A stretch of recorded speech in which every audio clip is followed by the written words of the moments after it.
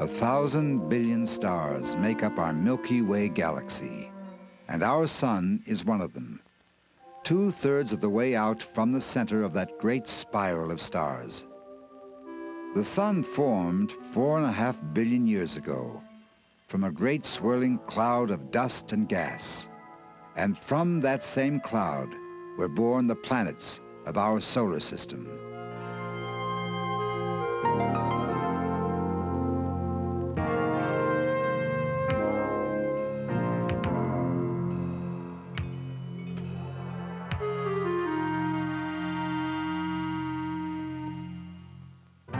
The Sun is at the center of the system of nine planets, rotating in their orbits as they revolve around the Sun.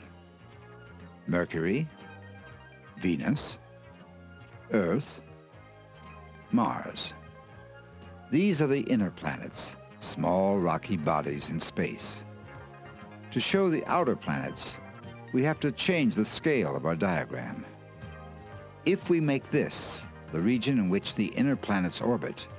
Then, here are the orbits of Jupiter, Saturn, Uranus, and Neptune, the giants of the solar system. These planets, along with Pluto, a small planet more like Earth in size, make up the outer planets. Nine planets in all, forming our solar system. For thousands of years, the planets were observed from Earth as wandering points of light among the stars. And then the invention of the telescope opened a whole new age of astronomy. The planets could be seen as objects in space.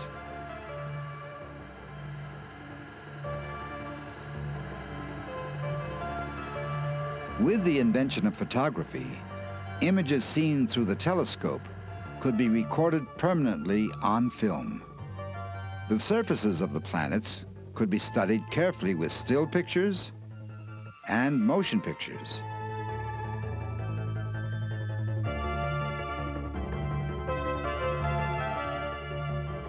Instruments were developed that could give us information that our eyes couldn't see. The spectroscope spread sunlight reflected from the planets into a spectrum that allowed astronomers to identify some of the gases in planetary atmospheres. Photocells and thermocouples made it possible to determine the temperature of a planet's surface and its atmosphere. Radio and radar astronomy opened up whole new areas of planetary investigation.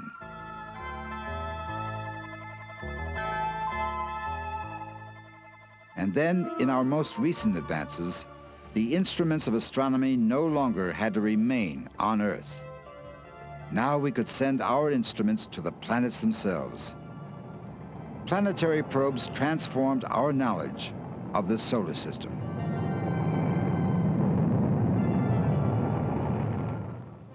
Mercury, closest to the Sun, is about half the size of the Earth in diameter and about one-third as far from the Sun. It makes one trip around the sun every 88 days. Once we thought Mercury kept the same face to the sun, rotating once during each revolution, like our moon. But radar studies have shown that it makes one rotation in just two-thirds of a revolution. In March of 1974, the planetary probe Mariner 10 sent back the first close-up views of Mercury's surface. Now we know that Mercury has suffered the same cosmic bombardment as our moon. Its surface is totally covered with craters and lava plains, the result of collisions with large and small bodies. The planet is nearly as airless as our moon, too. In the sunlight, Mercury's surface temperature rises to more than 700 degrees Fahrenheit and falls to about a minus 300 degrees at night. Instruments on board Mariner 10 showed that as Mercury moves through space, it creates a shock wave as it deflects the solar wind, the high energy particles given off by the sun. This could only be explained by a magnetic field, a surprise to astronomers. A magnetic field is usually produced by a planet's rotation. Mercury rotates so slowly, astronomers didn't expect Mercury to have one. But it does, though it's very weak. Between Mercury and Earth is the second of the inner planets, Venus, about the same size as Earth and about seven-tenths as far from the Sun. We see Venus either in the west just after sunset or in the east just before sunrise. From Earth, Venus looks brighter than any star in the sky. Why it appears so bright is related to why we could never see its surface through a telescope. It's covered with dense clouds that reflect the sun's light. The clouds aren't made of water like Earth's clouds, but of sulfuric acid droplets. Venus's clouds rotate with the planet. We can see that in time-lapse photography. Venus rotates once in 243 days. It revolves around the sun once in 225 days. Its day is longer than its year. Radar studies of Venus from an orbiting spacecraft have given us most of our information about the surface of the planet. The surface of Venus is generally smooth. The geologic processes that produce mountains on Earth don't seem to be operating on Venus. And like Mercury, it has a very weak magnetic field. While Venus's clouds are mainly sulfuric acid, its atmosphere is almost pure carbon dioxide, which traps heat from the sun. This has created a runaway greenhouse effect on the planet. The temperature at its surface is higher than the melting point of lead. The atmosphere is hot and heavy too. Air pressure at its surface is 90 times as great as it is on Earth. Once we thought of Venus and Earth as twin planets, but not anymore. About 150 million kilometers from the Sun, some 93 million miles, is the third planet of the solar system, Earth. Earth is the only planet with life on it, supported by its atmosphere rich in oxygen and by its magnetic field which shields living things from the sun's dangerous high-energy radiation. Earth has one natural satellite, the moon, one-fourth as large as the Earth in diameter. Each planet farther from the sun receives less of the sun's energy. Mars is about one and a half times as far from the sun as Earth is. Mars is about half as large as the Earth in diameter. It revolves around the sun once in about two years. Mars is more like Earth than any of the other planets. The Viking and Mariner space probes to Mars gave us a fuller picture of the planet. Mars rotates once in about 24 and a half hours, very much like Earth. But unlike Earth, its atmosphere is mainly carbon dioxide and very thin. Air pressure on Mars is 1 100th the pressure at sea level on Earth. But there are no seas or water of any kind on the surface of Mars. Yet there are signs that water might once have flowed there. There are wide channels that look like they might have been scooped out by great rivers. The surface is also covered with meteor craters. The thin atmosphere of Mars doesn't offer much protection from meteorites. But not all craters on Mars were caused by meteoric collisions. Some are the craters of volcanoes,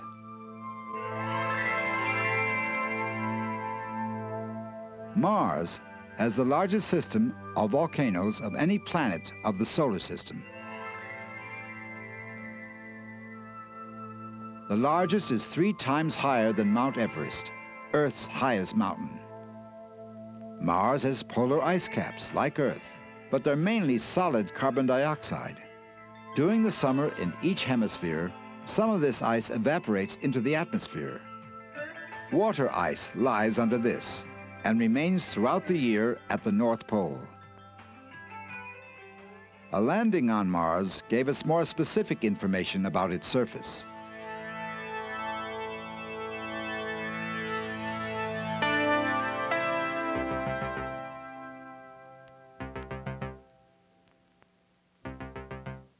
The surface is covered with rusty red rocks, sand, and much dust.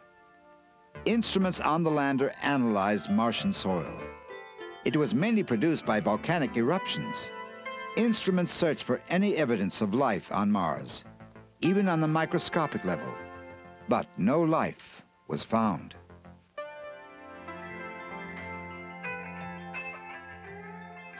Yet life could exist on Mars, even though it's a very cold place. Even on a hot day, the temperature might only get as high as a minus 13 degrees Fahrenheit. That's a minus 25 degrees Celsius. And that same night, it could drop to almost 130 degrees below zero Fahrenheit, 90 degrees below zero Celsius, right on the equator. Planet-wide dust storms are another part of the extreme conditions on Mars. Large temperature differences in two nearby areas may cause local dust storms. These can become more extensive as dust particles in the air are heated and generate violent winds that can carry the dust completely around the planet in a few days. Probes of Mars also gave us our first close-up views of its two tiny moons. Both are egg-shaped. Phobos, the inner moon, is about 10,000 kilometers from Mars, some 5,500 miles. It's about 17 miles long, 12 miles wide. Deimos is about three times as far from Mars and about half the size of the inner moon. Astronomers suspect that both moons may have been asteroids that were captured by the gravity of Mars. Mars is the last of the inner planets. The fifth planet, the first of the outer planets, is more than five times as far from the sun as Earth is. This is Jupiter, the largest planet in the solar system. It revolves around the sun once in about 12 years. Jupiter's diameter is 10 times as large as Earth's. Its volume, 1,000 times as great. In fact, Jupiter's volume is larger than the volume of all the other planets of the solar system put together. Recent studies in space probes have given us immense amounts of new information about Jupiter.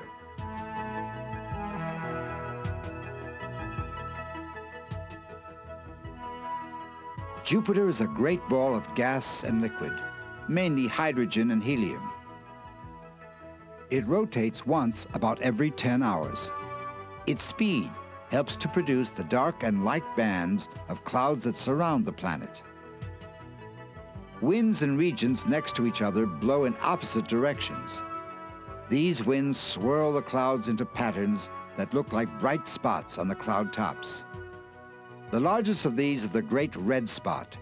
It seems to be an immense whirlpool. The spot has been there for hundreds of years. In this region, materials seem to be pulled upwards from deep within the clouds and then flow back down at the edges of the spot.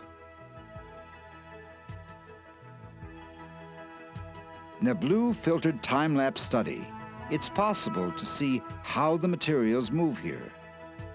Two planets the size of Earth could fit into the great red spot side by side. Jupiter's powerful magnetic field affects the solar wind of high energy particles. When the particles interact with the magnetic field, the usual shock wave is produced like the wave at the front of a moving boat. And the solar wind particles are deflected around the field and also trapped within the magnetic field itself. Although Jupiter doesn't have an iron core like Earth has, the hydrogen deep within Jupiter is probably liquefied and acts like a metal. Jupiter has 16 known natural satellites. The seven closest to Jupiter are constantly bombarded by the solar wind's high energy particles.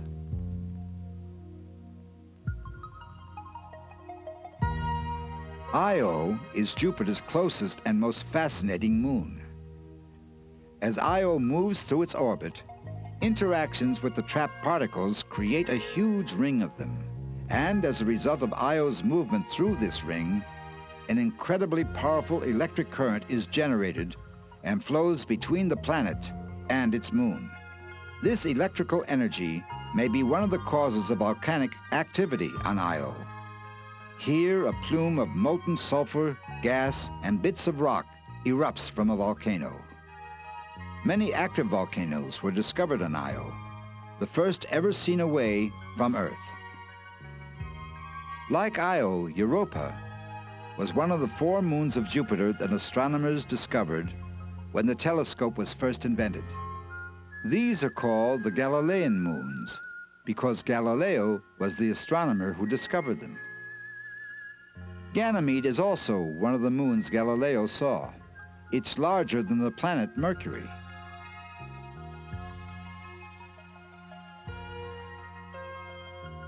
Callisto, like Io, is somewhat larger than our moon, but smaller than Mercury.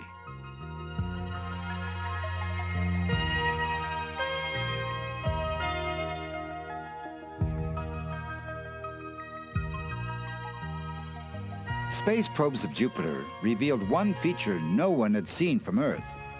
Jupiter's rings.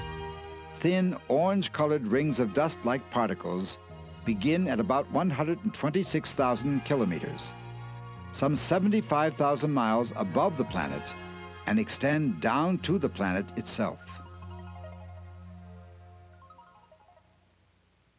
Until planetary probes allowed us to study Jupiter closely, it was thought that the only ringed planet in the solar system was the sixth from the Sun, Saturn.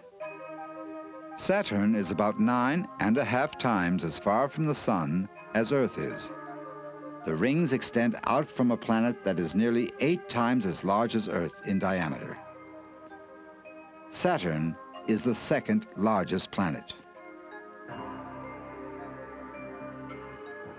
Saturn makes one complete rotation on its axis in about 10 hours and revolves once around the Sun in about 30 years. Like Jupiter, it's mainly composed of hydrogen and helium and has bands, but its rings are its most prominent feature. Although observations from Earth showed only three main rings, probes of Saturn have found one ring further in and three rings further out. The main rings seem to be made of thousands of separate ringlets. The main rings are more than 40,000 miles wide, some 60,000 kilometers.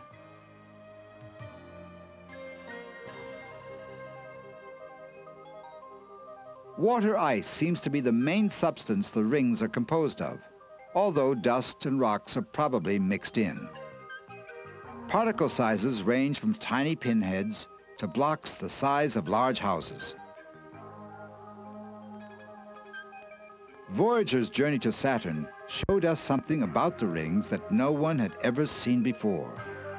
Dark lines of material called spokes seem to be caused by dust particles suspended by Saturn's magnetic field.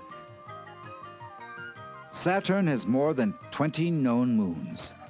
They show a variety of surfaces, all cratered like our own moon. All bodies in our solar system whose surfaces we have seen show evidence of many collisions. Titan, the largest of Saturn's moons, is the only moon in the solar system with a significant atmosphere. We can only guess at its surface because it is hidden by a smog of chemicals produced by interactions between nitrogen and methane in its atmosphere. The landscape could be composed of solid methane, with rivers of liquid methane flowing through it, and methane snow gathering in great drifts.